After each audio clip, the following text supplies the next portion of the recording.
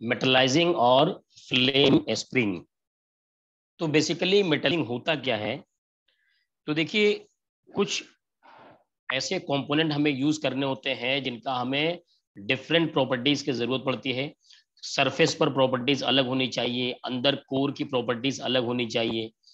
और कभी कभी कंडक्टिविटी वगैरह भी बदलना पड़ता है। मतलब इलेक्ट्रिकल प्रॉपर्टीज़ मैकेनिकल प्रॉपर्टीज़ कई सारे प्रॉपर्टीज़ को क्या होता है?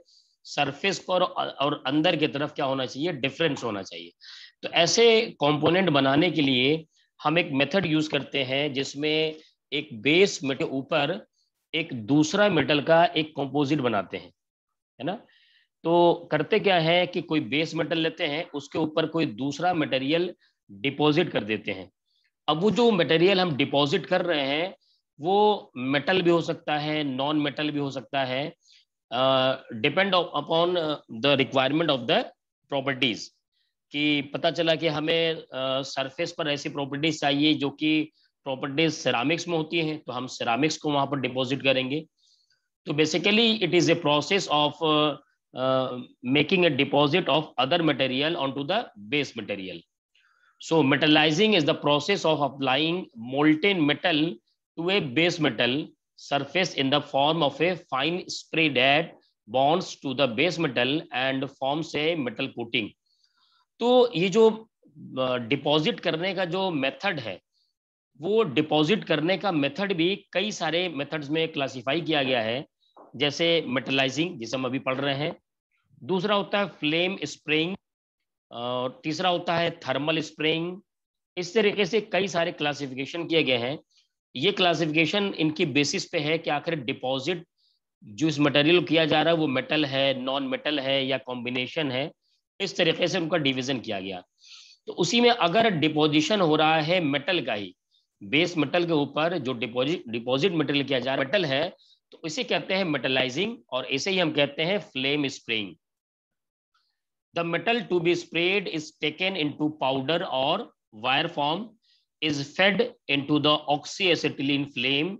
There it melts by the heat of the neutral flame, gets atomized and blown by a stream of compressed air onto the base metal surface where it spreads around and interlocks with projections, embed in pits and freezes quickly upon contact with the base metal. The sprayed material is generally applied in layers less than 0.25 millimeter. तो basic यहाँ पर एक पूरा process को समझाया गया है। इस फिगर के थ्रू मैं आपको पूरा प्रोसेस भी समझाता हूँ। तो देखिए, मान लीजिए ये हमारा सब्ट्रेट है बेस मेटल है। इस बेट मेटल के ऊपर हमें कोटिंग करनी है, यानी किसी दूसरे मेटल्स को डिपॉजिट करना है। तो जिस मेटल को हमें डिपॉजिट करना है, जो डिपॉजिटिंग मटेरियल है उसे या तो पाउडर फॉर्म में इधर वायर के फॉर्म में हम कन्वर्ट कर लेते हैं। तो ये देखिए, एक वायर फॉर्म में ये ब्लू लाइन आपको दिख रहा है। ये इसका वायर फॉर्म में डिपॉजिट मटेरियल है। इस मटेरियल को हमें क्या करना है? डिपॉजिट करना है। अब इस वायर को आगे फ़ीड करने के लिए, ले जाने के लिए हमने यहाँ बना रखा है वायर गाइड फ़ीड रोल्स तो दो रोलर के बीच में आपने मशीनिंग में फॉर्मिंग मशीनिंग में आपने जो है वायरिंग पढ़ा होगा है ना वायर ड्राइंग उसी तरीके से यहाँ पर वायर गाइड फ़ीड रोल्स है। जैसे कि आप गन्ना से रस निकालने की मशीन देखते हैं तो रोलर होते हैं रोलर के बीच में गन्ने को क्या किया जाए पास किया जाता है। तो ऐसे ही ये दो रोलर हैं। रोलर का काम है हल्का सा कंप्रेस करके इस वायर को आगे करना। अब ये जो वायर हम फ़ीड कर रहे हैं यहाँ पर ये जो वायर हम लोग यहाँ पर फ़ीड कर रहे हैं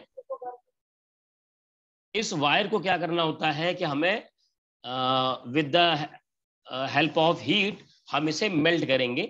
तो उसके लिए हम यहाँ पर ऑक्सी एसिटिलीन फ्लेम करते हैं। ऑक्सी एसिटिलीन जो वेल्डिंग होता है, वही से हमने लिया गया है ऑक्सी एसिटिलीन फ्लेम तो इसका ये देखिए, यहाँ से पास होता रहता है ऑक्सी एसिटिलीन फ्लेम इसके कई सारे लेयर हैं।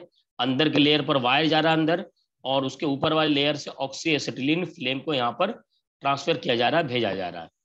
अब ये ऑक्सीएसिटिलीन फ्लेम क्या करेगा? इसको मेल्ट कर देगा, है ना? और जब फ्लेम में भी कई सारे फ्लेम होती हैं oxidising flame neutral flame carburising तो हमने यहाँ पर न्यूट्रल फ्लेम को लिया हुआ है।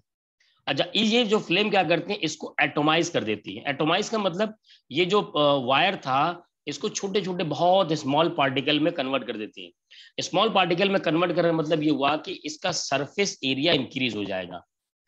अब इसको आगे भेजने के लिए एक हम ब्लो मेथड यूज़ करते हैं। ब्लोइंग का मतलब किसी कंप्रेस्ड एयर को इस रास्ते से क्या करेंगे? भेजेंगे और जो एटोमाइज फॉर्म में मेटल है, उसके ये ब्लोन कर देगा, हवा की तरह आगे भेज देगा स्प्रे फॉर्म में। स्प्रे फॉर्म में कैसे पहुँचा? क्योंकि ये पहले से एटोमाइज हो चुका है, सब छोटे छोटे पार्टिकल में कन्वर्ट हो चुका है। तो by a stream of compressed air on to the base metal surface तो यहाँ पर स्प्रे फॉर्म में बेस मेटल पे ये जो सबट्रेट है, वही है। बेस मेटल पे इसको भेजा जा रहा है।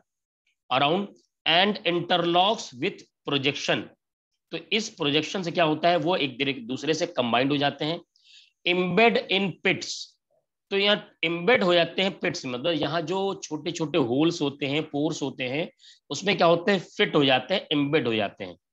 एंड फ्रिजेस क्विकली तो यहाँ पर उनका सोलिडिफिकेशन हो जाता है। जल्दी ही वो जम जाते हैं बहुत आसानी से। अपॉन कॉन्टेक्ट कॉन्टेक्ट होते ही, क्योंकि यहाँ पर ये जो बेस मेटल है, वो तो कूल्ड है, उसको हमने हिटा नहीं है। With the base metal the spread material is generally applied in layers less then 0.25 millimetre thick तो ये जो मटेरियल हमने यहाँ पर भेजा है, इसकी जो थिकनेस बनाई जाती है जनरली इस मेथड से, वो 0.25 मिलीमीटर की थिकनेस यहाँ पर कोटिंग की जाती है। जो हमने डिपॉजिट मटेरियल किया है, उसकी थिकनेस कितनी होती है? जनरली 0.25 मिलीमीटर थिक होती है। एक चीज़ और, यहाँ से जो मटेरियल स्प्रे किया जा रहा है एटोमाइज फॉर्म में, और जो सब्ट्रेट है बेस मेटल इनके बीच की डिस्टेंस होती है जनरली 10 टू 25 सेंटीमीटर के बीच में रखी जाती है। तो इस तरीके से हम किसी बेस मेटल के ऊपर किसी दूसरे मेटल को with the help of metallizing process हम वहाँ पर उसकी कोटिंग करते हैं, एक डिपोजिशन करते हैं।